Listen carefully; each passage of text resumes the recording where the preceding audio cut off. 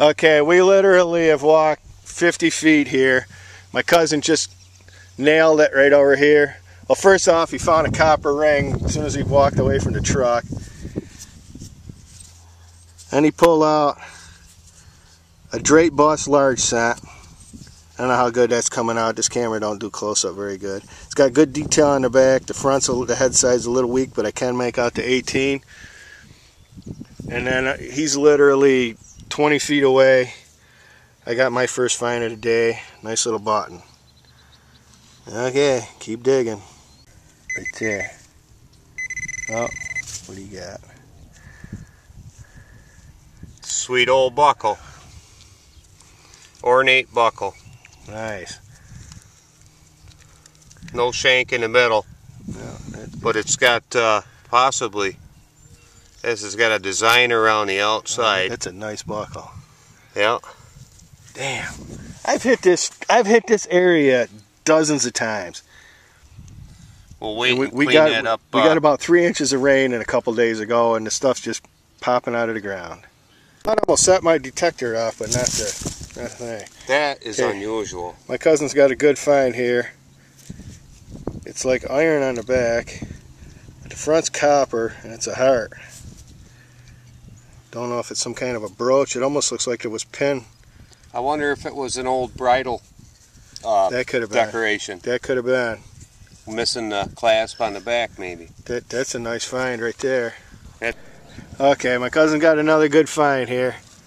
He already walked over and come back to check a hole for me and went back over and was checking out a previous dug hole. He's got a little what you what do you call it?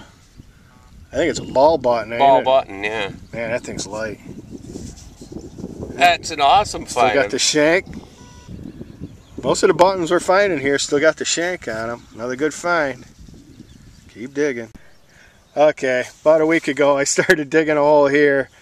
I chased a weak signal all around here and I just had my cousin check it out and I was right off. We got another button. A Little bit of a dish to it. Shank's gone. There might be something on the back of it. I'll have to clean it up later. I don't know. I'm still getting a lot of iffy signals around here. See a lot of that, those uh, oyster shells. Yeah. Them We're people used to eat them. there's a cellar hole right there that my family was on the map of 1851. We're down from that old barn. We were digging all the good stuff on the other side there. We got on. My cousin got on the board with a. I think it's an imperial button. Shank's gone, but we ain't finding much of anything down here. So anything counts. That's pretty exciting. Yeah, another 10 feet from that last button. My cousin scores another one. That one's got some age on it. There is a little bit of a shank there in the middle. Stay tuned. Okay, he actually had to go about 25 feet to find the next button. Man, that thing is thin. Shank's still on it though. Flat and grayed out. Flattened out, but it's still got the shank. Man, we're finding another hot spot here. Okay, I was gonna do a live dig, but we kind of didn't know. My cousin just got this. Can you see that? That's gold gild on that baby. That's Haven't even cleaned it yet. no, we ain't brushed it off. Uh. Nice button. Green on one side, but oh, you got a pattern on there. We might be back. Okay, splash a little water on this. This is double gilt something. We can't quite make it out. But that's some gold right there. Gold gilt. Okay, I got a button now. It, it ain't been a minute since we pulled that gold one out.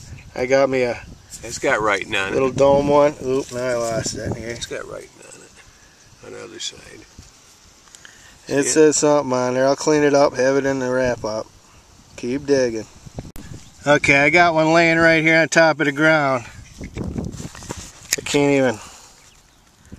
That's a gold gild watch key, I think. I'll have to clean it up a little bit, but I'm pretty sure that's what that is. Pocket watch key. That is a beautiful find. It's got some weight to it. I don't know. We'll have to get that cleaned up and checked out. Alright, my cousin just come over to check out my thing. Little cuff link button or underwear button. Another nice little flat button. Man, we found a good hot spot here. Yeah, we'll be back. Yeah, I'm not giving up on this You're, spot. you're probably gonna stay right here. I'm Yeah, gonna go. I ain't got I nowhere might to be go. back. Unless that lightning gets a whole lot closer, but it looks like it's going. See, we got this big storm rolling. I'm swinging a big metal detector around in the air. okay. Looks like my cousin found himself an old Indian peace pipe. That's funny. Okay, I had a good signal here, and I just see it drop in the hole. I think I just found a large cent. Oh yeah. Oh, that's a good one. I can read the back real good.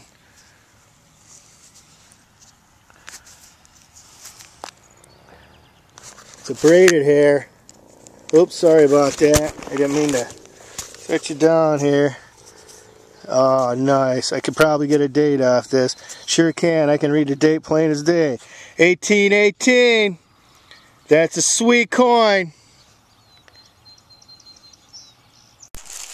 Okay, wrap up for today's hunts. You see all my trash. This ain't even all of it. This is kind of a ornate piece. I don't know how well you can see that design. I don't know what this rock is. I found that. It almost looks like uh, I guess barnacles or coral on it. I'm going to look into that a little more. Yeah, piece of white quartz, bunch of nails, metal ring, pair of pliers. This I can't tell. It's a handle. I don't know if it's off a like a pot that had wood in between here or just what that is. Then the good finds. 1941 wheat penny. This is a Imperial Standard flat button. Still got the shank on it. No design on the top that I can see. We got I ain't cleaned that up enough to see if there's any writing on it. I don't think that one did. The shanks broke off that one. The shank's still on this one, but it's flat. It it says something. I'm going to have to soak that one a little bit to clean it up. You can see that's a dome button.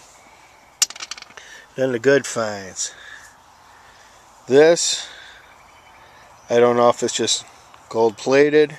It's got a lot of weight to it. But I believe that that was a key to a pocket watch. And on the inside here, around this ring, there's like a little lip around there, like it might have had some kind of stone or set in that, something set in that. I don't know. I'll look into that a little more. I'm going to clean it up, but it's definitely got gold gild on it at least. Like I say, there's a lot of weight to that. And then this one here. You can make that out pretty good. 1818. I think that's what they call a braided hair one cent. That's in really good shape. I'll soak that and clean it up. Maybe I'll have a picture at the end of a couple of these. Thanks for watching. Remember, thumbs up.